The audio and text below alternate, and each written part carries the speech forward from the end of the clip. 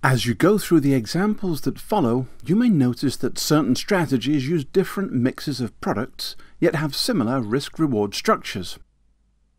This is because the prices of puts and calls are inextricably linked to each other, and the price of the underlying stock through an equation known as put-call parity.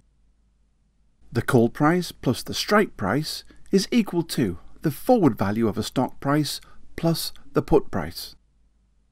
It is important to use the forward value of the stock, which is adjusted for interest rates and dividends, rather than strictly the current price of the stock. We can calculate the forward value this way.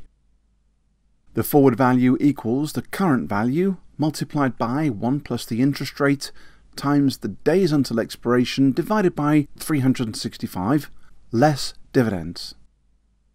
In a low rate environment, the forward value of a stock that pays no dividends is roughly equal to the current value.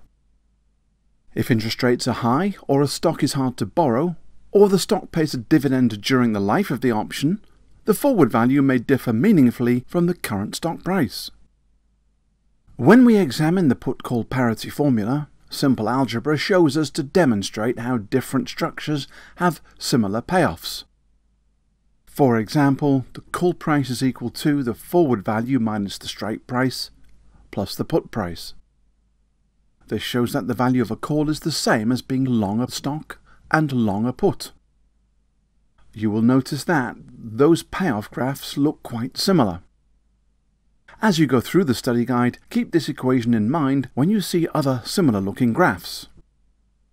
If we structure the equation this way, we see that a long call and short put with the same strike and expiration creates a synthetic future. The forward value equals the strike price plus the call price minus the put price. The difference between the forward value and the current value of a stock is a function of interest rates and dividends.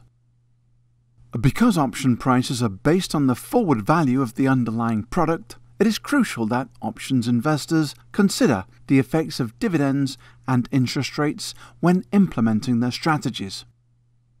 So keep this in mind as we move forward.